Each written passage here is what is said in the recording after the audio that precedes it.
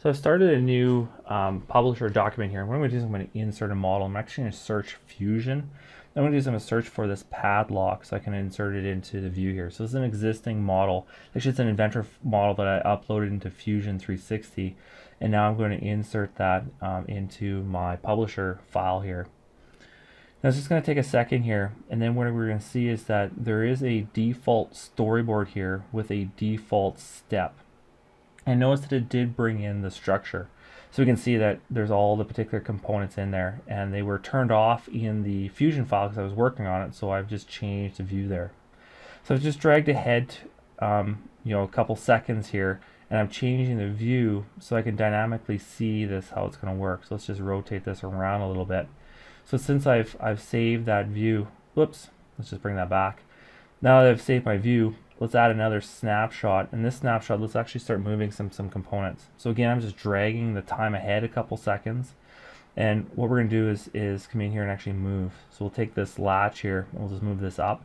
And notice how easy it is with the, with the manipulator um, and how I can actually specify real distance as well. So if you've used the manipulator in Fusion, you're gonna have no problem using this in, in the in the publisher um, 360 as well.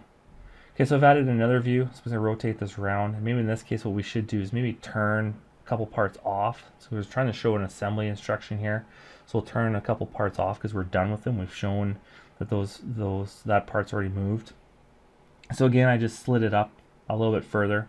And now what I'm to do is I'm to move these components a little bit more. So I've dragged two components. I'm just clicking and dragging. Then I'll just hold down the shift key and, and I could deselect a component too.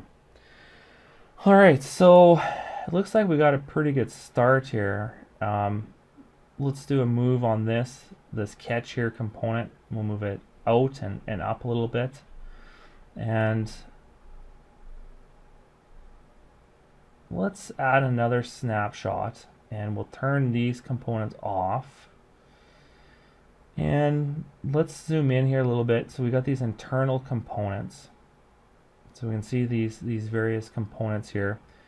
So let's take a couple of these.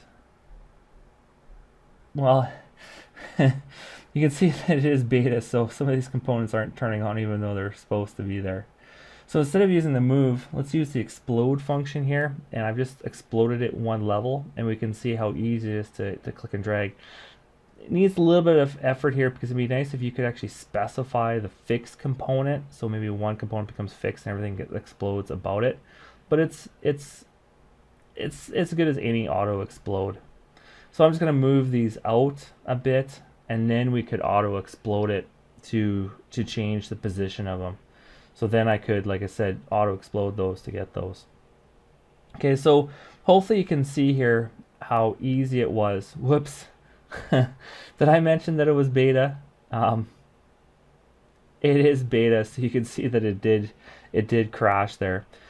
But hopefully you can see here how easy it was for me to go in there and insert an existing model from Fusion I had uploaded. And in this case, it happened to be Inventor, Inventor model.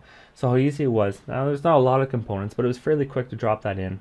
It created a default snapshot or storyboard, the default snapshot, and how easy it was for me to create multiple steps in there. So create the multiple snapshots, um, and how easy it was to go in there and, and change the view and have that snap, snapshot automatically capture that change in view per each kind of step.